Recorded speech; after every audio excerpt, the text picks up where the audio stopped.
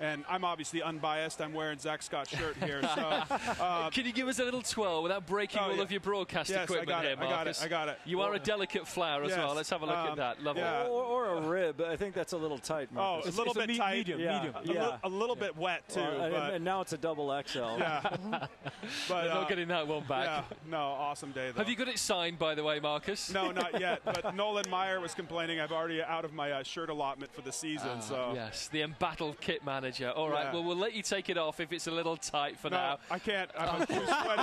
It's too sweaty. You got to cut him out. In that case, keep it on till Yeah. you go to bed at night. Maybe even Yeah. sleep in it. Who Yeah, cares? gonna to it's, sleep in it. It's good times. Let's hear more from the jubilation